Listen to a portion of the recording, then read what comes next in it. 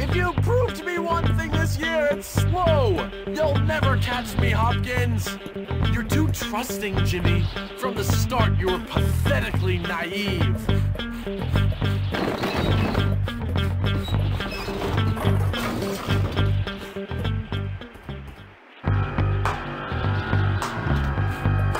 Poor little Jimmy, all alone in big, scary Bullworth, under fire from his goons, desperate for help.